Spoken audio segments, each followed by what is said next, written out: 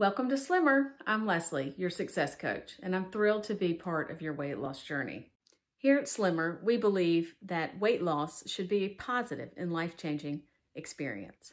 I personally have been on this for one year and I've lost 60 pounds. So it's been a really great experience for me.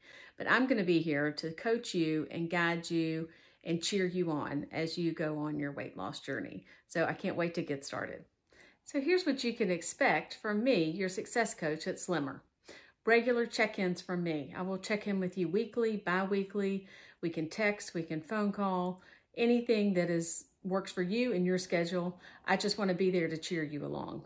We'll do personalized, tailored plans to help you reach your goals and that fit your lifestyle. And most importantly, a listening ear, a cheerleader. I'm your biggest supporter. I've been through it. I've done it. I've done it all. It's been a year, but seriously, I have done it all. I have done everything in the book, and this is the best thing I've ever done for myself. So together, we can make really great changes, and I'm excited to be on this journey with you. One thing I want y'all to remember is that progress is not about perfection, okay? We are here to make progress, not be perfect. So I want you to have realistic expectations about what to expect. Sometimes you might have a slow week. It doesn't all come off in a week. It didn't all come on in a week. All right. So we got to be realistic about what we can expect. And I'm here to set realistic goals with you.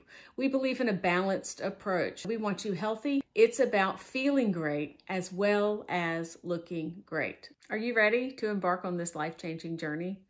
Know that you're not in this alone. Myself and the whole Slimr team will be there to guide you. So please don't hesitate to reach out, text, call, do whatever you need to do if you've got questions, and we will be there to answer your questions and guide you and help you. I'll be in touch.